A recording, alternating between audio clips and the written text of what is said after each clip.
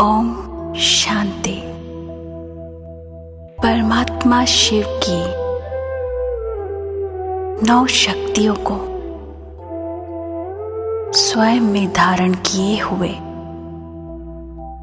अष्टभुजाधारी माँ दुर्गा की सच्ची आराधना के लिए इस नवरात्रि पर्व लाए हैं माँ स्कंद माता का आध्यात्मिक रहस्य।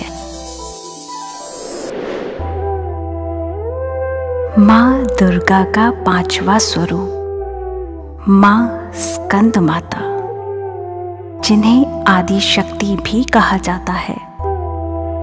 इन्होंने निराकार परमात्मा शिव को अपनी संतान मानकर अपना बुद्धि योग सदा उनसे लगाकर रखा।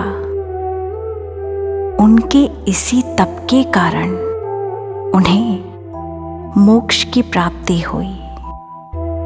इसलिए जो आत्मा माँ स्कंद माता के समान परमात्मा शिव को अपना पुत्र मानकर योग लगाएगी तो उसे इस दुनिया में रहते सर्व दुखों से मुक्ति मिल जाएगी।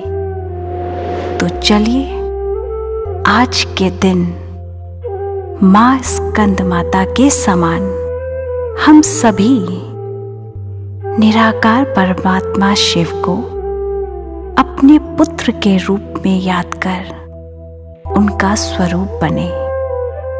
ओम शांति।